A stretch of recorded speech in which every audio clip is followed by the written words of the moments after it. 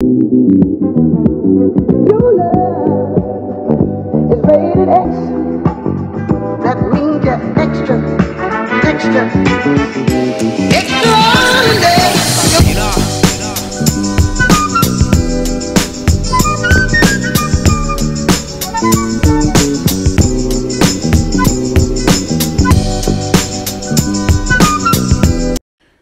Bonjour les amis, j'espère que vous allez bien. C'est fait avec ce que tu as dans ton frigo. Facile, rapide et économique.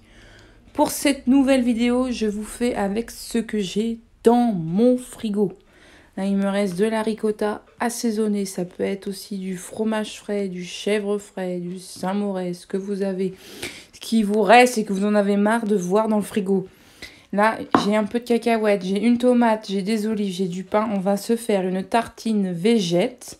Mangeons un peu des légumes, végètes. Évitons un peu la viande et tout ça. Alors pourquoi pas une petite tartine légère à partager avec un petit verre de rosé hein? Allez, on va commencer avec le pain. On va couper nos tartines.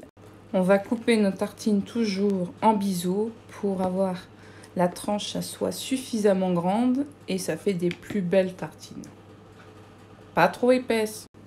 Voilà, comme ceci. Donc là, on va les faire tout cacahuètes pour donner de la couleur à la tartine, du croquant et un goût supplémentaire. Cacahuètes hachées. Donc là, on va faire des quenelles avec notre ricotta.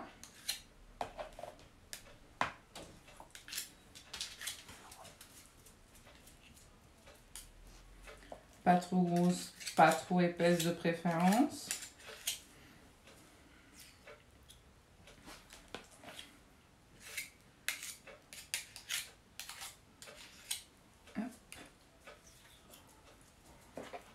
Après, vous mettez ce que vous voulez sur vos tartines.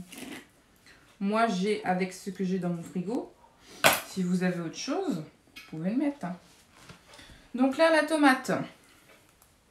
La tomate, on va lui enlever le pédoncule.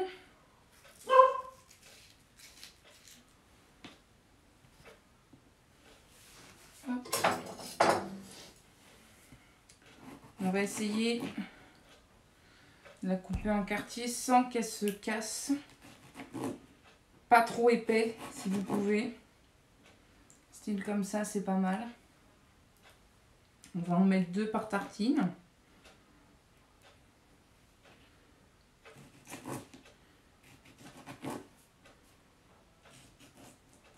Voilà. Et on va positionner comme ça.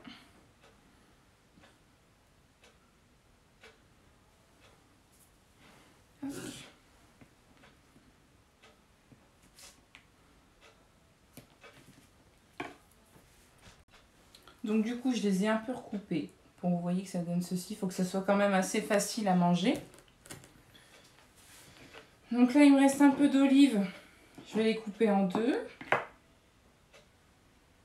On va venir habiller un peu la tartine.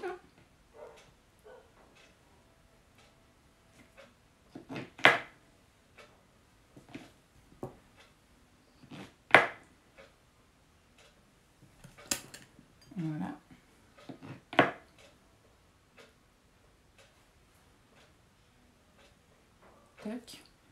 Et avec nos cacahuètes hachées.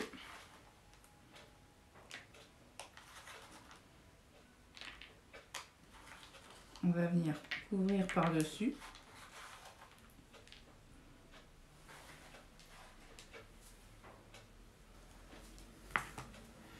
Un petit filet de vinaigre balsamique par-dessus. Du sel et du poivre et c'est bon. Le tour est joué. Et voilà de belles tartines très très simples, très faciles. Vous pouvez les dresser autrement. Soit si vous voulez faire un petit tartare de tomates, vous pouvez mettre par-dessous la ricotta et faire une quenelle et finir par mettre les olives les cacahuètes. Enfin, vous faites avec ce que vous avez dans votre frigo. Soyez créatif. Voilà, moi j'ai fait. Je vous partage ma, ma recette avec ce que j'ai fait dans mon frigo. Donc je t'invite à aller vous naviguer sur ma page YouTube pour voir d'autres photos, d'autres enfin d'autres vidéos, d'avoir d'autres idées sur les recettes d'apéro et allez jeter un coup d'œil sur ma page Facebook et Instagram qui sont en images et qui pourront te donner encore plus d'idées et n'hésite pas à t'abonner. Et je te dis à très bientôt sur les réseaux ou alors dans mes vidéos.